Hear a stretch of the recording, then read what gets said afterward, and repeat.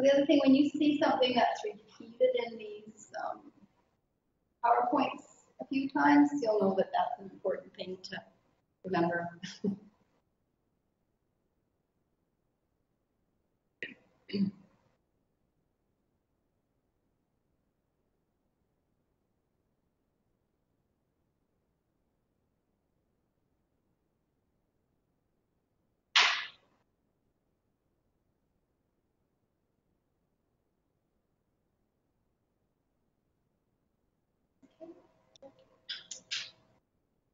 So the same three layers, the dura arachnoid pia mater, the same ones that were around the spinal column, and they are all together. Like I said, it's one big sheet.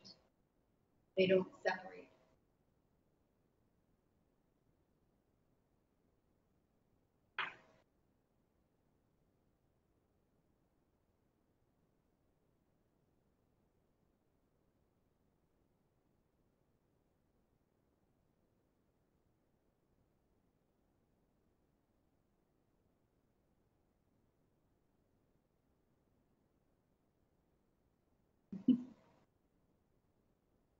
So the forming of the cerebrospinal fluid is in the choroid plexus in the third ventricle. So it secretes the fluid into the ventricle, it removes waste, it adjusts the composition where it equalizes it, and um, circulates it. So it produces about 500 mils day, which is quite a bit. And also, it's changed every five days. You don't have to remember that, but I just thought that was really cool. That the whole thing is changed each five days.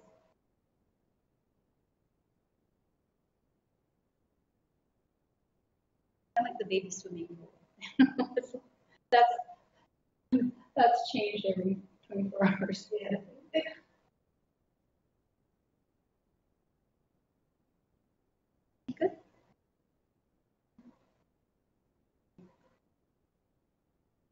So we've already seen the, the pictures of the circulation. So it starts in the choroid plexus and through the ventricle and down throughout the spinal cord, up and around the brain and back. So here is the base of the equina, which is the horse tail. So right down to the base of your spine.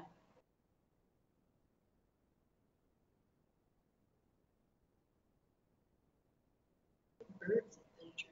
Okay.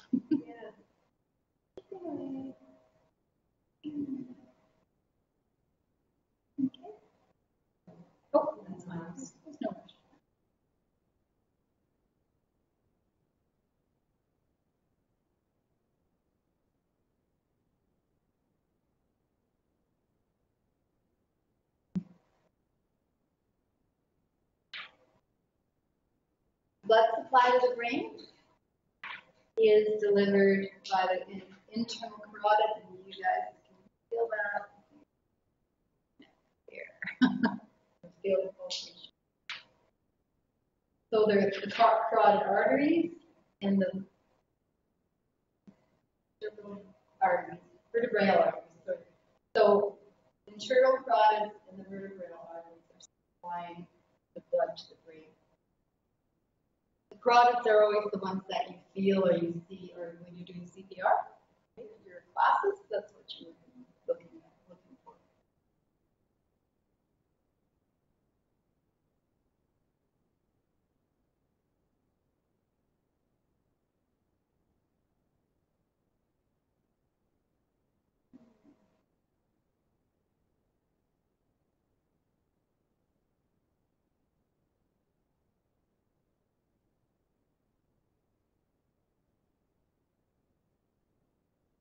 and they're returned to the heart by the internal jugular vein.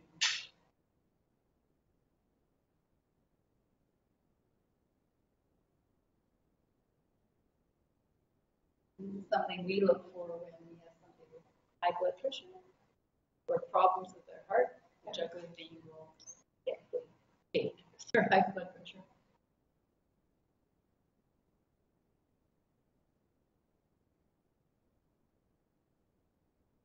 Rather do. okay. We talked a little bit earlier about strokes and what happens, right? Strokes are, there's two different kinds. They can be um, a clot or they can be a bleed. They're quite different. Um, so they talk here about the arteries either become blocked, which is usually the clot, and again, it just prevents the oxygen and nutrients from getting to the cell. Or the other one is a vessel ruptures, and it's a bleed, and causing pressure damage and lack of blood supply because the vessel has ruptured. It results when I say neural, neuron death, meaning that the death of the, the nerve cells. And location of the injury determines the physical symptoms we talked earlier. If it's on the damages on the right side, you'll have the physical symptoms on the left side and vice versa.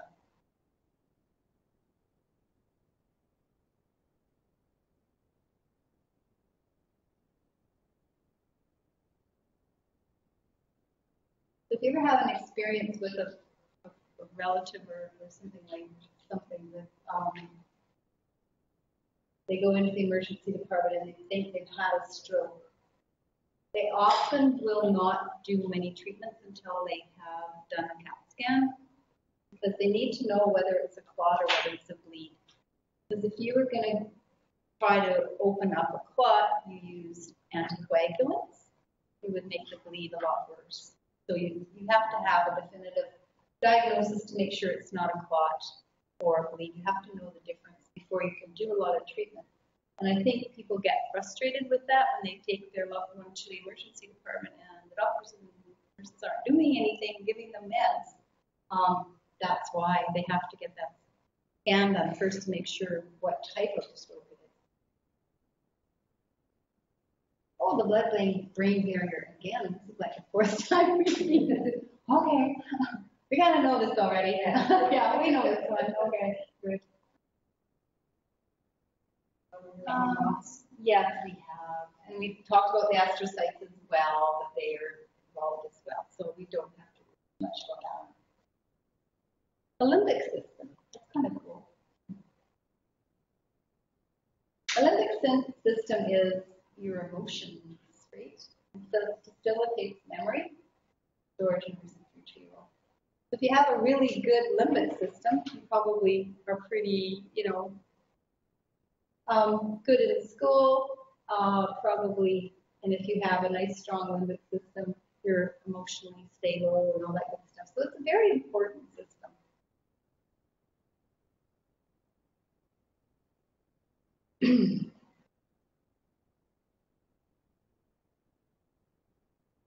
okay.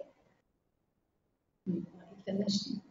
Because like the, the limbic system is important as far as what it does.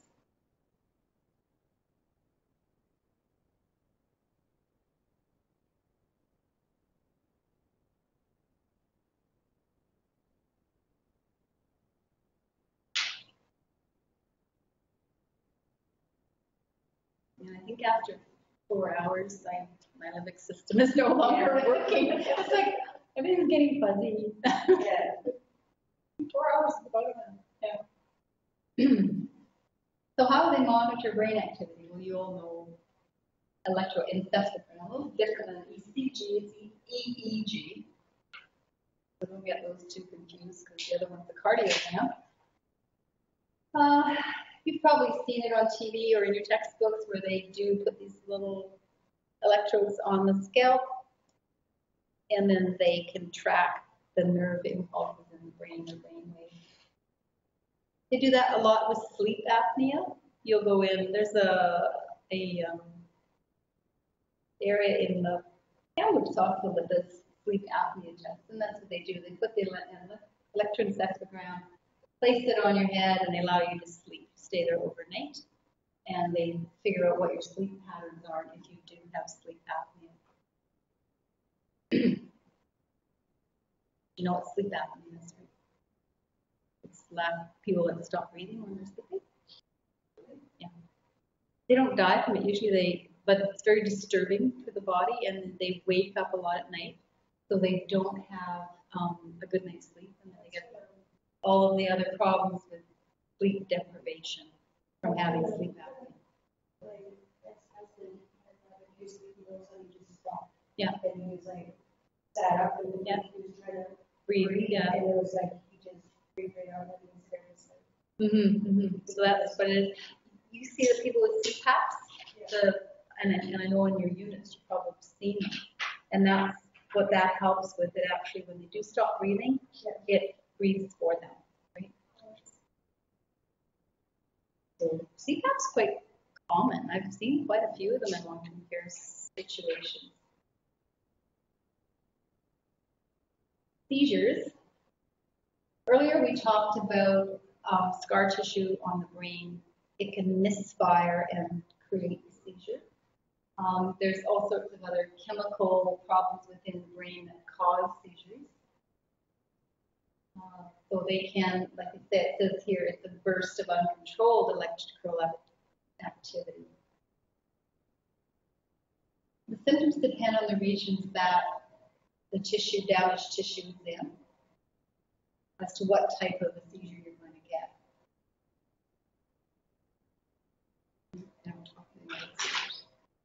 There's all sorts of different types of seizures, and when you take your um, nursing program,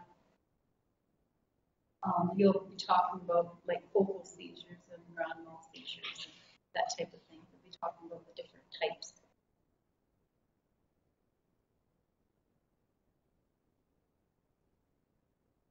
Cranial nerves, 12 pairs, innervate everything above the shoulders, and each nerve can be tested to ensure it is intact. And they do cranial nerve studies to see if there is any brain injuries.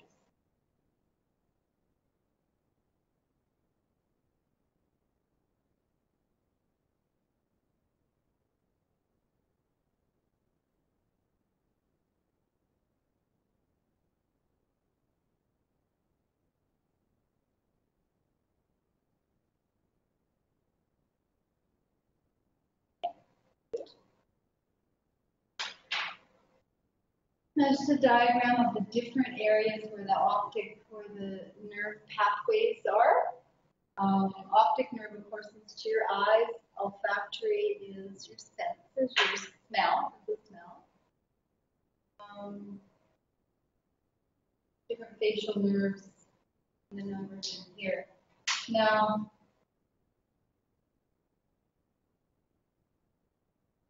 when I send out the keyword studies that I send out to you. I think you guys both got different ones, right? I've, I think it's only two so far, but I've got to do the rest of them.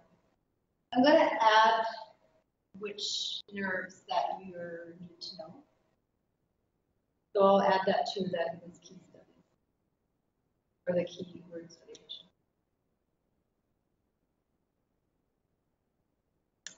Okay.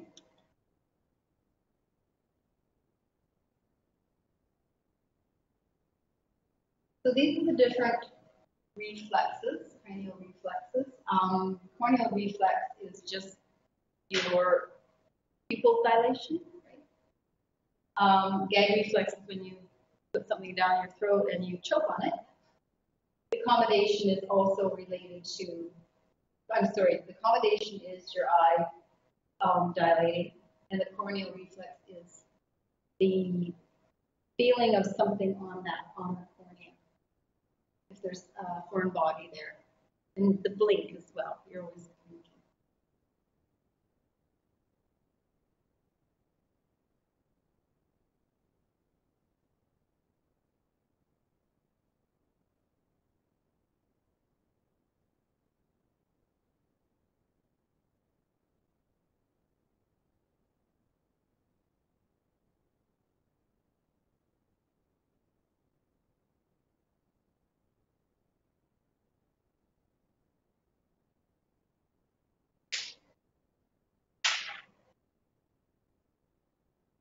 Hmm. hmm. Okay. Good. Based on what you've learned, uh, what can you do as a nurse to assess and protect the spinal and cranial function in your patients? Know, what do you think? What can you do? That's your question. Well, to assess, what could you use for assessment? Mm-hmm. For nerve issues. Yeah, motor skills, that's right. Um, fine motor skills, can they, yeah, can they write? That type of thing, yeah, perfect. Can they follow your finger? That type of thing.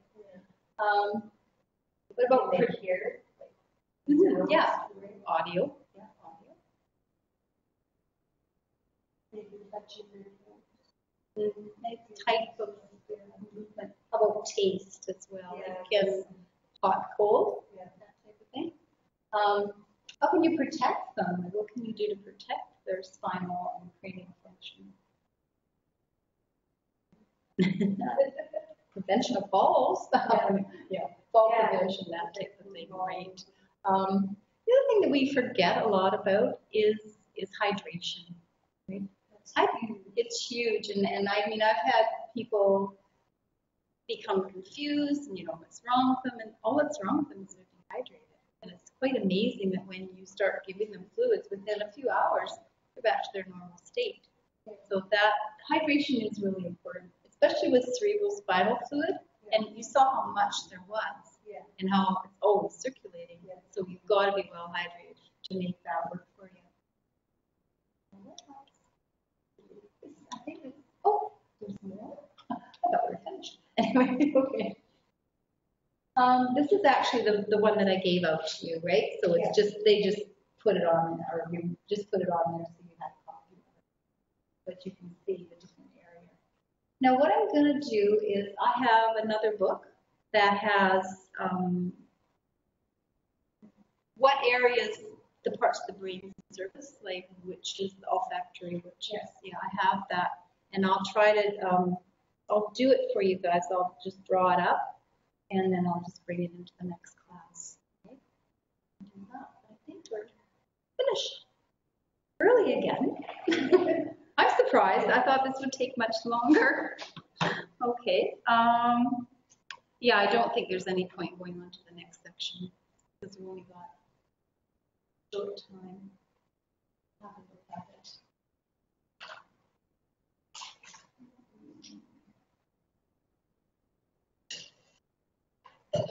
Yeah, I'm gonna leave it till next time because the next one is the somatic systems that you have to, and that's gonna take a while, more than just half an hour. Okay. Oh, did my hole punch it? Sorry. I tried to remove it.